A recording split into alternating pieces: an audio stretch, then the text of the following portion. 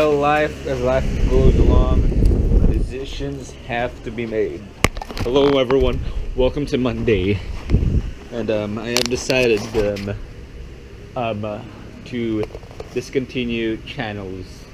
No, it's not this channel. Um, I'm going to dis- discontinue the comic critic channel and the movie review channel. Why?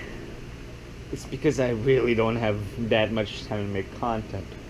The movie review channel was a failed concept. I, for some reason, I was just wasn't able to set up the camera in such a way, which made, um, yeah, I mean, I haven't, I didn't set up the camera that much because mostly once I go home and after watching a movie, I'm pretty tired, so I go rest. Then I do my Letterboxd review. Um, Letterboxd reviews will continue on. Actually, I should link that in the video description, which will be probably today. Um.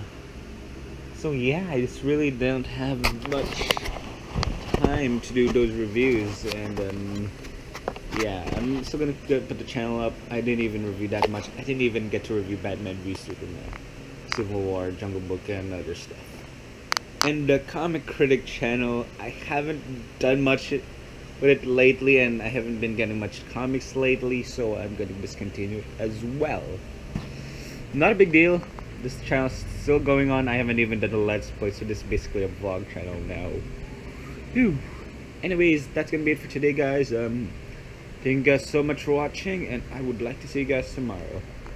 Well, vlog today, eh?